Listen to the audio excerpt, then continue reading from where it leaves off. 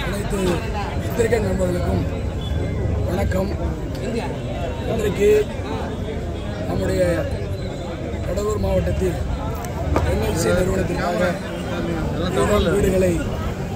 கொடுத்து எங்களுடைய வாழ்வாதாரத்திற்காக போராடி கொண்டிருக்கிற விவசாயிகள் அந்த விவசாய நிலங்களில் விவசாய தொழிலாளராக பணியாற்றிய விவசாய தொழிலாளர்கள் ஆகியோர்களுக்காக பாதிக்கப்பட்ட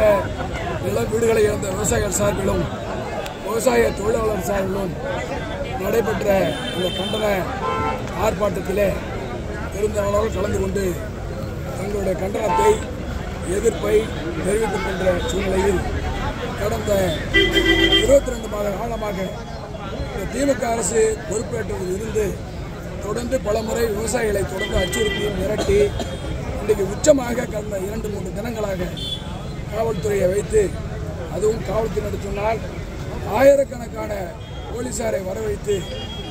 போராட்டக்காரர்களை மிரட்டி அவர்கள் அறவழியிலே தங்கள் உரிமையை காட்ட போராடுபவர்களை மிரட்டி அடிபணியை வைத்து என்ற என்ற தீய எண்ணத்திலே அவருடைய நிலத்தை அபகரிக்க வேண்டும் என்ற எண்ணத்திலே செயல்பட்டுக் கொண்டிருப்பதை கண்டித்து நேற்று முன்தினம் நாங்கள் எல்லாம் கைதானோம் தொடர்ந்து நேற்று பாட்டாளி கட்சியான சார்பிலே பந்து நடைபெற்றது இன்றைக்கு அனைத்து இந்திய அண்ணாதோட முன்னேற்றத்தின் சார்பில் பல்வேறு கட்டங்களில் சட்டமன்றத்திலும் மக்கள் மன்றத்திலும் பத்திரிகை வாயிலாகவும் தொடர்ந்து விவசாயிகள் மூலமாகவும் எங்களுடைய குரலை நாங்கள் அதற்கு என்ன விவசாயத்திற்கு ஆதரவாக அந்த எடப்பாடியார் வழியிலே தொடர்ந்து குரலை நாங்கள் பதிவு செய்து கொண்டிருக்கிற வேளையில் இன்றைக்கு பாதிக்கப்பட்ட விவசாயிகள் அழைப்பை ஏற்று கண்டன ஆர்ப்பாட்டத்தில் கலந்து கொண்டு எங்களுடைய கடும் கண்டனத்தை தெரிவித்திருக்கிறோம் குறிப்பாக இந்த மாவட்டத்தினுடைய இரண்டு அமைச்சர்களும் எதிர்கட்சி தலைவர் தலை எதிர்க்கட்சியில் இருந்தபொழுது சில வாக்குறுதிகளை கொடுத்தார்கள். ஏக்கருக்கு ஒரு ஏக்கருக்கு ஒரு கோடி வேண்டும் நிரந்தர வேலைவாய்ப்பு வேண்டும் என்று அன்றைக்கு போராடினார்கள். எதிர்கட்சி தலைவராக மு க ஸ்டாலின் நான் முதலமைச்சரானவுடன்